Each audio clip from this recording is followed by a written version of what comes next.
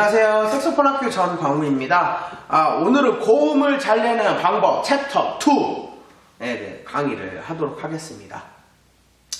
아, 두 번째에서 말씀드릴 게 뭐냐면요. 자, 앞 강의에서 뭘 말씀드렸냐면, 어, 입에 힘 빼셔야 된다는 거 말씀드렸고요. 두 번째는 호흡의 방량, 압력, 이런 것도 중요하다고 말씀드렸잖아요. 그래도 소리가 안 나요. 그래서 저는 처음에 이 고음 연습을 어떻게 했냐면요. 어, 목걸이 좀 올려요.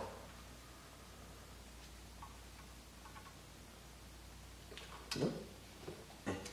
목걸이 좀 올리시고, 제가 손이 좀 미끄러워서요. 어, 그리고 악기가 이렇게 조금 더 나보다 이렇게 올라오게. 네.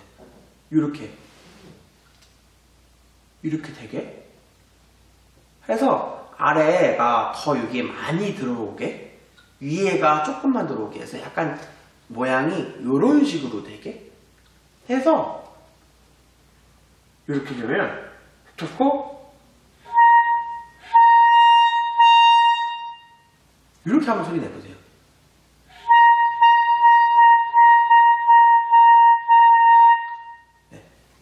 이렇게 하면 한 50%는 나시던데 음. 이런 식으로 하다가 그러다가 점점 내가 내가 내려오는 거예요.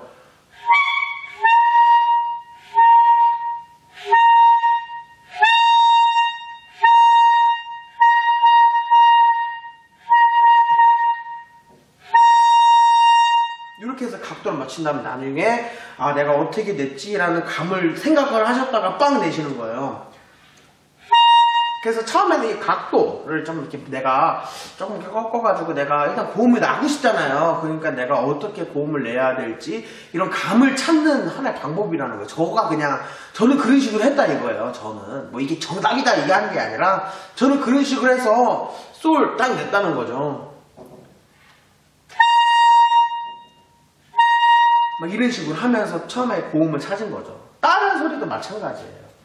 다른 소리부터는 이제 조금 더 다른 이야기가 하나 나올 건데, 그거는 나중에 이제 강의를 통해서 제가 말씀을 드리고요. 음, 사실 고음 연습은요, 어, 아마 강의만 보고 소리 안 나실 거예요. 음. 그 강의를 보고서 이제 답답하잖아요. 그쵸? 아, 왜 안 나지? 근데 이거를 실제로 이제 만나가지고 딱 가르쳐 드리면 납니다. 그게 있어요. 왜 그러냐면 저도 지금 보고 있진 않잖아요. 그쵸? 저는 카메라만 보고 있지 여러분을 보고 있지는 못해요.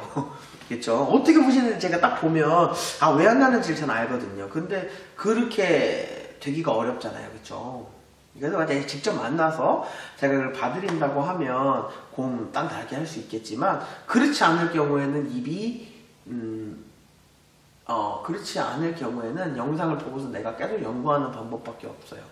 저도 최대한 저가 저의 남, 나름대로 노하우 제가 어떤 식으로 이거를 터득을 했는지에 대해서 오늘 강의를 만들어 드린, 만드는 건데, 어, 어려워요. 고음은 절대 쉽게 나는 게 아닙니다. 누구나 낼 수 있는 것도 아니고요. 어떤 사람은 아, 몇 년을 해도 고음이 안 나요. 그쵸? 근데 그거를 확실하게 터득하고 그걸 안다 그러면 고음은 뭐, 저 같은 경우는 뭐, 레, 미, 파, 뭐, 파까지도 나요.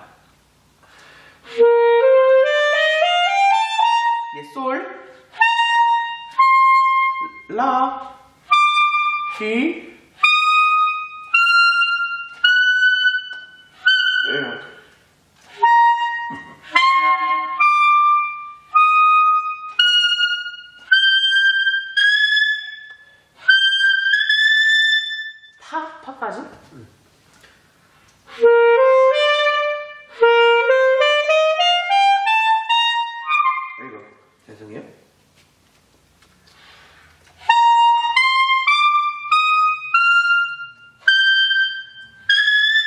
그죠? 맞춰 여기까지네요. 근데 별로 이거 쓸 것까지는 없고 헤이지도 같은 경우도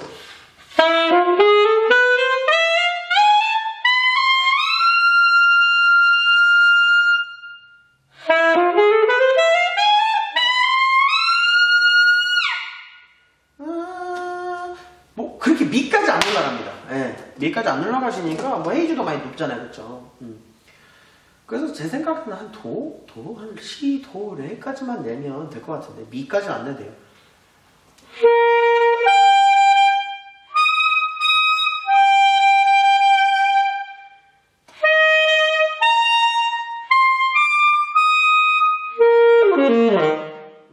고음 연습 많이 하시면 안 됩니다. 예, 아, 괜히 삐삐삐 고음 소리만 내면 안 돼요. 고음 연습은 1시간 하시면 한 10분만 하세요. 예, 고음 연습 절대 많이 하시면 안 됩니다. 네, 이렇게 고음을 어떻게 내야 되는지 제가 한번 좀 이렇게 저 나름대로의 그 노하우를 말씀을 드렸어요. 이해 안 되시는 것들도 있고, 뭔가 나랑 생각이 틀린 걸 수도 있긴 하겠지만, 저는 그런 식으로 해서 고음을 냈다는 거예요. 네, 그걸 말씀드리고 싶어서, 어, 조금이나 이렇게 제가 강의를 이렇게 남겨놓으면 좀 많은 분들이 도움이 되지 않을까 싶어서 이런 강의를 만들어 봤습니다. 어떠셨나요? 좀 이해가 되시고 고음이 나신다 그러면 댓글, 저 고음 났습니다. 이탁 댓글 좀 달아주시면 제가 또 얼마나 기뻐가지고 또 막, 그죠?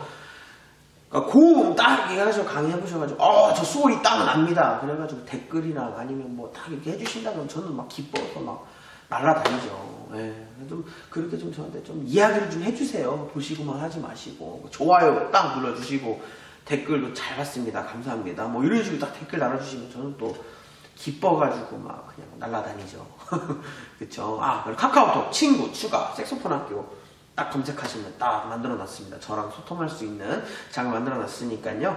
예.